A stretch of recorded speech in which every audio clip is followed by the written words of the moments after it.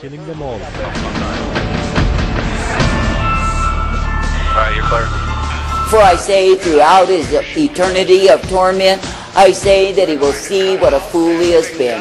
I say this day that I, the living God, do not call thee to even imitate or emulate the fools who have given themselves to death. For I say, such ones think they are having fun. They do their little shows. They put on their little displays with their symbolism of death and And you did it to him, Dad. Dad, Dad. or Mom. mom, mom. To burn their sons in the fire. The fire of what? The fire of greed, the fire of bloodlust, the fire of pride, the fire of conquering king. And you know what? We haven't won one more for all of our big war machines. That's other God, folks. This militarism is another God. And I don't care if you call it the VA. I still said it, and I mean it. All of this bloodthirsty, blood passion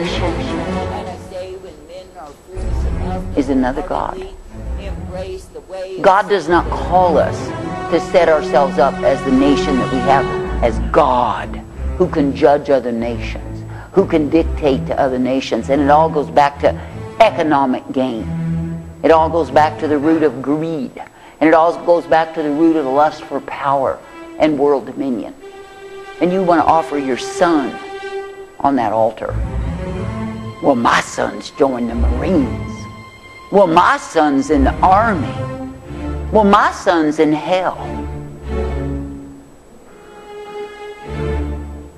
Therefore, behold, the days are coming, says the Lord, when this place shall no more be called Tophet or the valley of Ben Hinnom, valley of Hinnom, but the valley of slaughter. And I will pour out and make void the counsel and the plans of the men of Judah and Jerusalem in this place, and I will cause their people to fall by the sword before their enemies and by the hands of those who seek their lives and their dead bodies. I will give to be food for the birds of the air and for the beasts of the earth. God does not want his people to suffer. God will never do anything bad. God will never allow any harm to come upon Jerusalem. God will keep the apple of his eye forever. God will do this. God will do that. Well, you know what? God will do what the scriptures says. Because he told the prophet, go declare it. And why did he tell him go declare it? He said, go declare it because I'm going to do it. I'm going to do it. Huh? I'm giving them warning. I'm giving them declaration. I'm giving them a show of what I'm going to do and an outright declaration of it if they will but pay heed. Huh? They won't pay heed. No more than this land will pay heed. But you know what? That does not do away with the prophet's commission. That does not do away with the fact that you need to warn the wicked doers, that you need to warn the evil lest they could perish in their sins and their blood be required of you. We cannot cease in giving forth the counsel of God because men are refusing to pay heed. Because then the blood is upon them rather than upon us. So we must stay true unto God, stay true to what it is that he declares, and do just as this prophet did. Declare it. Because that is the that is the call of the prophet to declare the counsel of God. Now the false prophets go around and say, Yea, there's peace and safety on every hand. There's great prosperity ahead. The economy is going to bloom up as never before. And you will pick tulips of prosperity and put them on your mantle. You might put them on your grave. Okay, going on, and he says, And I will make this city and astonishment and a horror and a hissing, and everyone who passes by will be horrified and will hiss in scorn because of all of its plagues and disasters. America, you're not opening your eyes, you're not looking at the fact that it's God who's sending the plagues and disasters, and I will cause them to eat the flesh of their sons and their daughters, and they shall eat each one the flesh of his neighbor and friend in the siege and in the distress with which their enemies and those who seek their lives distress them. And then it says, and then you shall break the bottle in the sight of the men who accompany you, and say to them, Thus says the Lord of hosts, even so will I break this people and this city as one breaks a potter's vessel, so that it cannot be mended. Says men will bury in Tophet because there will be no other place for burial until there is no more room to bury. Thus will I do to this place, says the Lord, and to its inhabitants, and I will even make this city like Tophet. And the houses of Jerusalem, the houses of the kings of Judah, which are defiled, shall be like the place of Tophet. Even all the houses upon whose roof roofs incense has been burned to all the hosts of heaven, and drink offerings have been poured out to other gods. Then came Jeremiah from Tophet, where the Lord had sent him to prophesy. And he stood in the court of the Lord's house and said to all the people, Thus says the Lord of hosts, the God of Israel, Behold, I will bring upon this city and upon all its towns all the evil that I have pronounced against it, because they have stiffened their necks, refusing to hear my word. So why is it that God is saying he will break this people? It is because they have stiffened their neck and refused to listen, that is, pay heed and obey his word. Now you know we are living in a time when God is bringing the breaking, the shattering, the devastation, the despair, and how many are listening to Him. That is, how many are paying heed, how many are repenting, how many are turning from the evil of their ways, how many are seeing that the plagues, the disasters, the calamities, the useless wars, the futility of offering your sons on the altar of militarism and getting nothing back but a body bag and a devastated corpse. How many are seeing that, yes, indeed, that is their sin. How many are seeing that the blood of the innocents, the babies aborted up to 60 million now, that is crying out daily unto God is being heard by God. How many are realizing that the sexual worship in this nation has taken us down to utter decay, debauchery, and defilement because we took up a God of the heathen? How many are realizing that they are giving consent and permission to homosexuals to rape their own sons? How many are realizing that they are giving consent to their own children to be raised up to be perverts, to be under the wrath, the fury of God?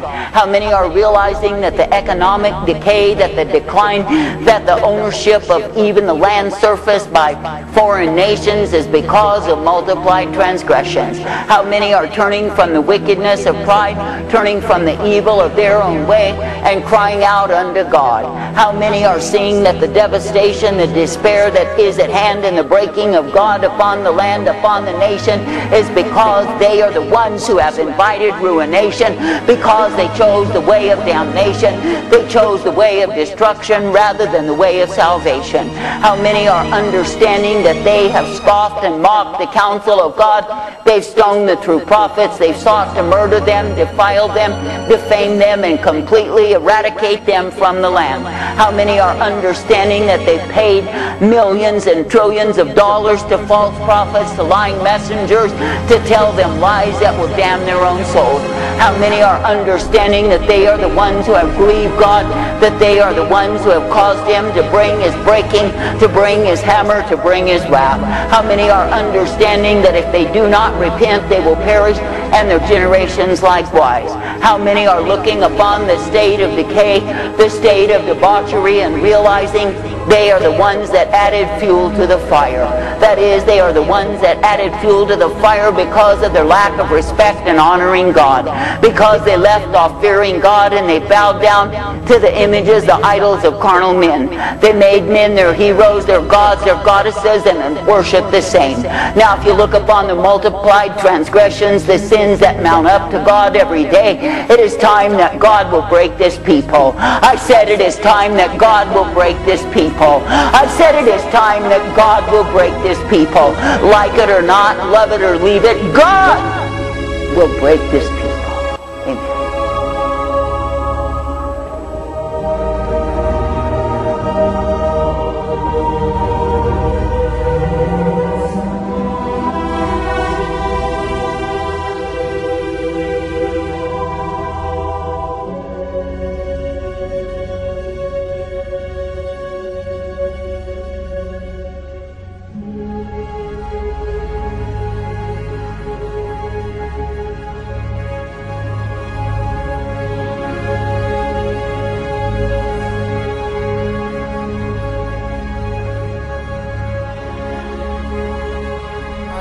I speak unto thee this day, and I say it is me, the living God, who is able, and it is me, the living God, who will bring down the proud. That is, it is me, the living God, who will break them apart. It is me, the living God, who will shatter them. It is me, the living God, who will bring them the devastation they are needy to receive. For I say, even I, the living God, do bring the hammer of my righteousness down, in my wrath, my fury, my indignation reveal, I say there is no man that can stand against the same. And I say, even though the proud doers, the boasters, the high-minded, think they can escape me, it is not true. For I say it is me, the living God, who can strike and strike and strike through phantom strikes when they do not even know that I am around. And I say it is me, the living God, who can come upon them with no warning at all, no preparation to resist me.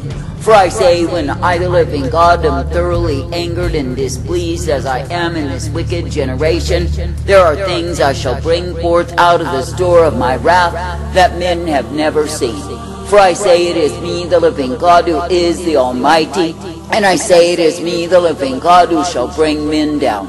Therefore I say in a wicked, vile, a corrupted, and evil generation, do not even be amazed at what I shall do.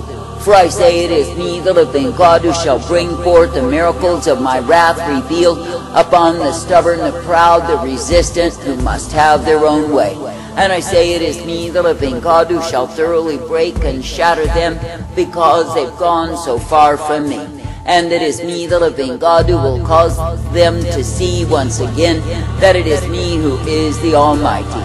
I say you are living in a time when men are so vainly puffed up, so full of pride and arrogance, so full of themselves they think they remain forever. That is, they think they can go on in their own headstrong ways, doing as they please when they please how they please, and somehow they get by. But I would ask thee what man is able to escape me, what man is able to walk afar off from me, and do the things that are right in his own eyes, and not pay for the same. For I say, when a man will choose to oppose me, he is choosing to oppose the very way of life.